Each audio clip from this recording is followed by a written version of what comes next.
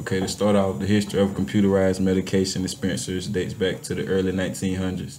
It was first brought up when a nurse at the Colmery-O'Neil Veterans Affairs Medical Center came up with the idea to use barcoding within the medical field. This idea was established when the nurse sought out that tracking numbers were used to keep track with rental with cars and rental car systems. The Colmery-O'Neil Veterans Affairs Medical Center would go on to begin work on a prototype that would balance nurses' clinical judgment. This barcode administration would turn out to be an award-winning system that would be used throughout Veterans Affairs healthcare systems by the year 1999. Computerized medication dispensers, in my opinion, was, was the best discovery the medical field could have ever came across. Within the passage, I will explain how medical staff properly receive medications from these dispensaries. First, providers make an electronic list that displays specific details on a patient's medication order. From there, the entry is displayed on software packages in pharmacies for editing and is later verified by the pharmacist. Once verified, the orders become viewable to nurse staff, point of care.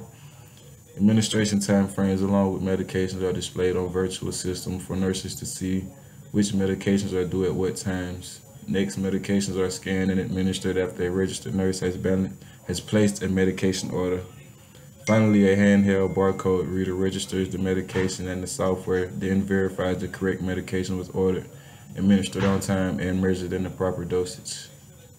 In present time, computerized medication dispensers are used in an extensive amount of ways within the health field.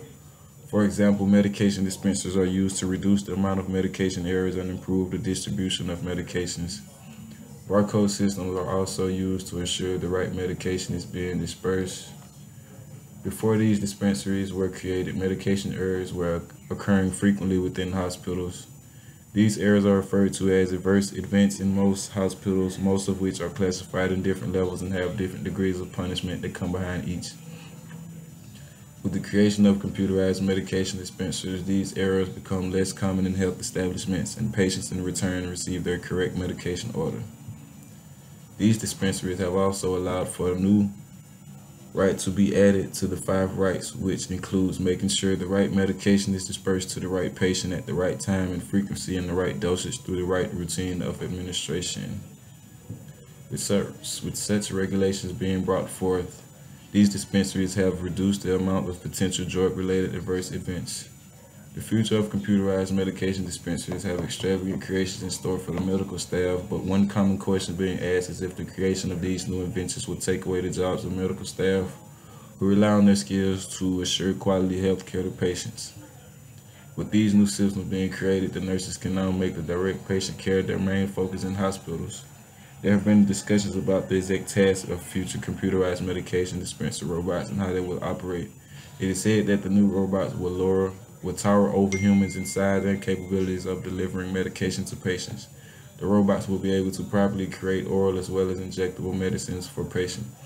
In conclusion to these recent advances in technology within the health field, it is possible to agree that these dispensary systems have indeed become a relief to medical staff around the world.